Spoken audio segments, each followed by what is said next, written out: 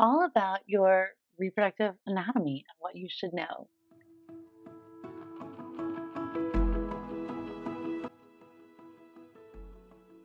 Hi, friends. I'm Dr. Natalie Crawford. I'm a board certified OBGYN and REI.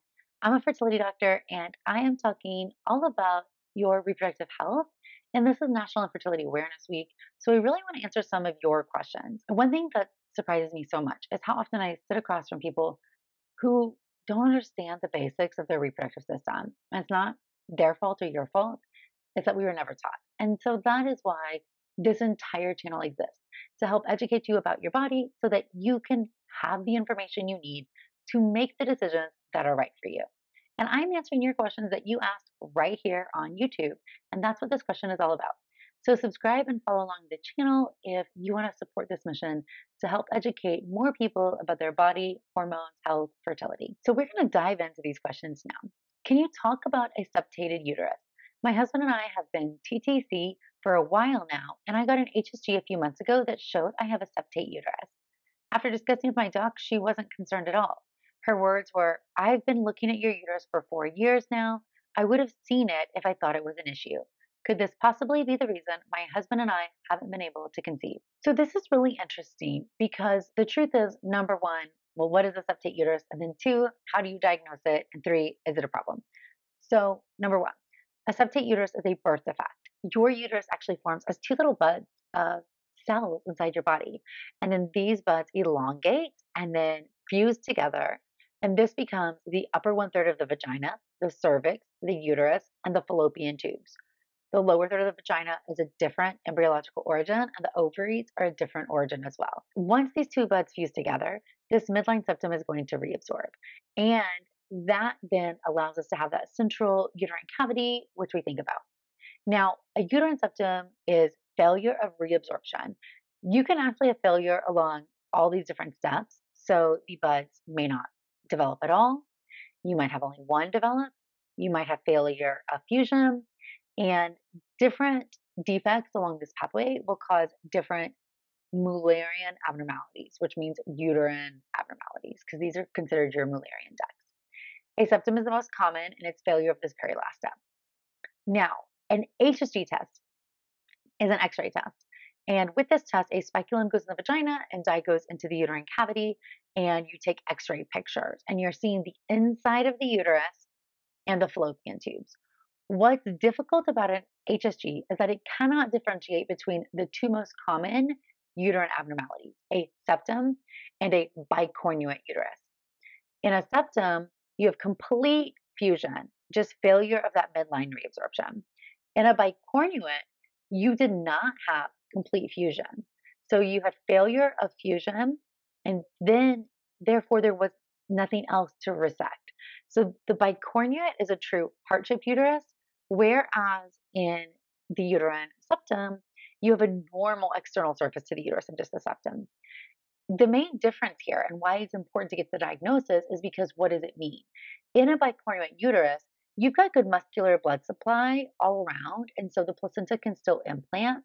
And even though you do have some pregnancy complications, like an increased risk of a breech presentation and a C section and preterm birth and labor abnormalities, you don't see quite the issue that we have with the septum, which is a really high miscarriage rate.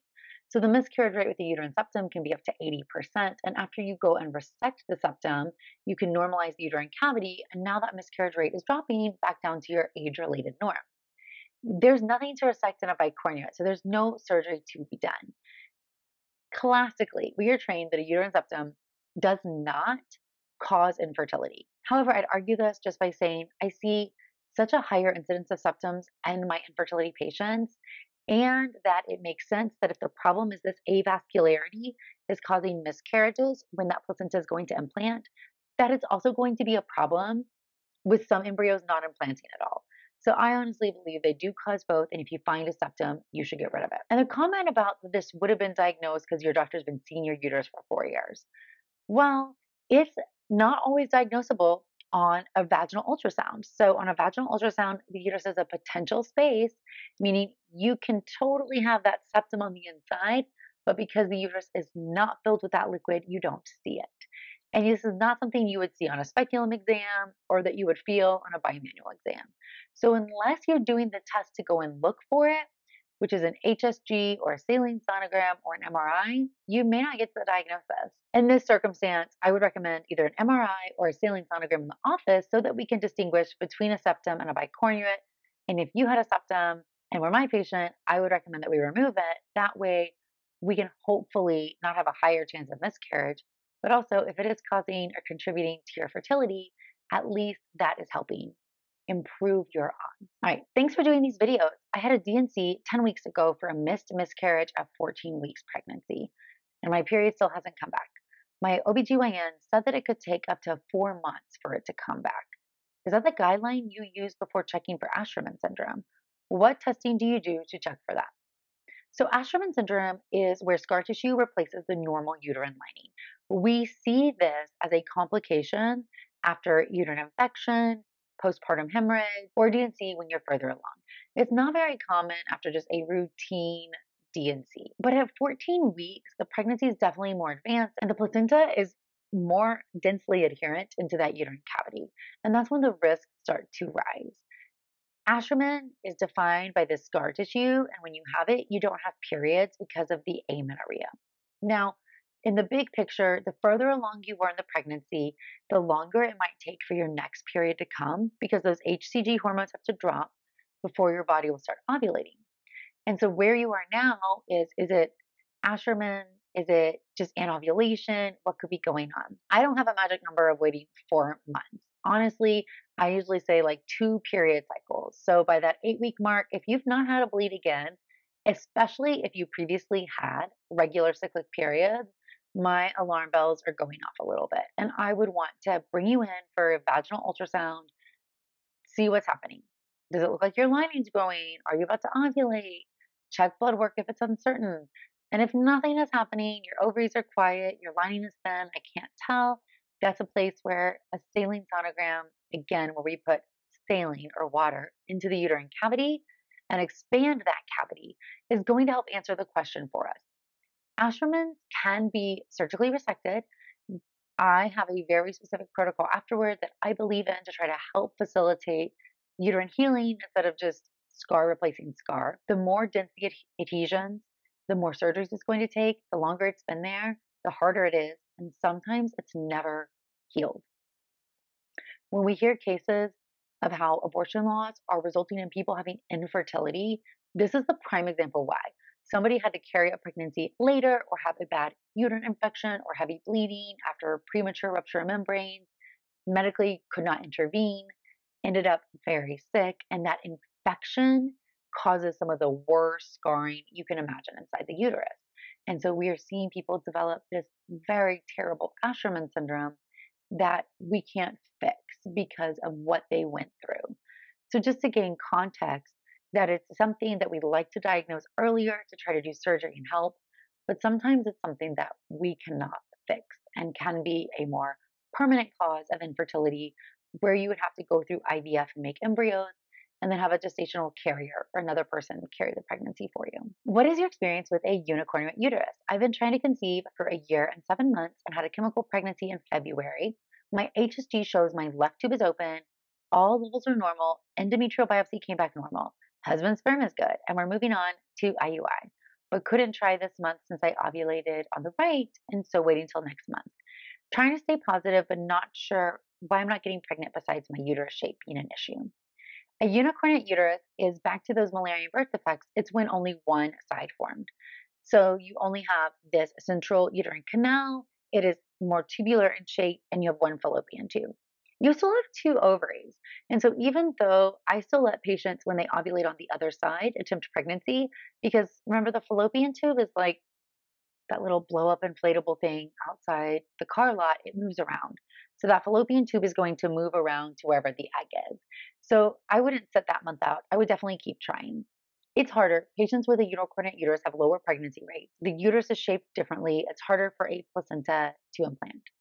Now, it's not impossible, but I will say that because your uterus is more abnormally shaped and there's a higher risk of miscarriage, more of my patients with a unicornuate uterus are going on to IVF sooner so that we can find that normal embryo we can really get a thicker lining developing by the protocols, and we can put that embryo in that we know has a lower chance of miscarriage. The other thing about a unicorn uterus is that these birth defects have higher associations with kidney abnormalities and then also endometriosis. So, very important to just think about the full picture here, especially if you already have this infertility diagnosis by the length of time you've been trying. So, the uterine shape alone isn't going to be fixed by IUI or ovulation induction when everything else is normal. So this is a place where I would be advancing care. IUI alone, if your if the sperm is good, is not going to improve your pregnancy rates. Ovulation induction and IUI to me isn't something I would offer because if you got pregnant with two babies in that one half of a uterus, much higher chance you're going to lose them both. So strong recommendation at this point to really talk to your doctor about IVF and how that might be able to help you. Hello, thank you for your video. I have some questions. Both my tubes are closed. The left tube is open only 5%. Fertility doctor recommends IVF. My OBGYN said I can try laparoscopy with chromotubation. What can I do in my situation? I am 38. Other analysis look normal. Two ways to look at the world. Laparoscopy with chromotubation is putting the dye through the tubes while you watch with your eyeballs to see if it really comes out. Because an HSG test is a screening test only. The gold standard is going to be looking at surgery. So your OB is trying to get you a better diagnosis. They're not trying to fix a tube. But sometimes a tube could spasm or x rays aren't perfect. Now, if that's worth doing or not depends on the full picture. Being 38 with completely normal other analysis depends on how long you've been trying and how many kids you want. Because the longer you've been trying, or if you would like to have more than one child or additional children, then the odds of conceiving start to go down with everything looking normal and falling into this category. With one tube at 5% and the other tube closed, to me, I'm strongly worried there is something going on in your body, some scar tissue or inflammatory process that is impacting the tubal function. So that even if they're open at chromotubation after this result, do I believe it? Top of list is going to be endometriosis or other inflammatory diseases in that setting, we know that advancing care to IVF when we're worried about tubal function is 100% the recommendation. And if we lived in a world where all fertility treatments were covered, then that's absolutely what we would do. Certainly, trying to get to the bottom of do you have any inflammatory diseases or autoimmune diseases? Do you have any signs or symptoms of endometriosis? Answering those questions can be really important in getting to the root of what you want to do and then having honest discussions with your partner about your goals making sure your doctor knows how many kids you want, how long you've been trying. Because the worst thing we can do at age 38 is spend more time in the diagnostic zone and not getting you into treatment, no matter what we're doing. All right, friends, I hope this video helped answer a few of your questions. Going to be doing some more Q&As coming up, so ask your questions away because my entire goal and why this channel exists is so that you can understand your body better. As always, appreciate you. Please subscribe you can listen along on the As a Woman podcast or follow along on Instagram at Natalie Crawford MD for more information. Thanks, friends.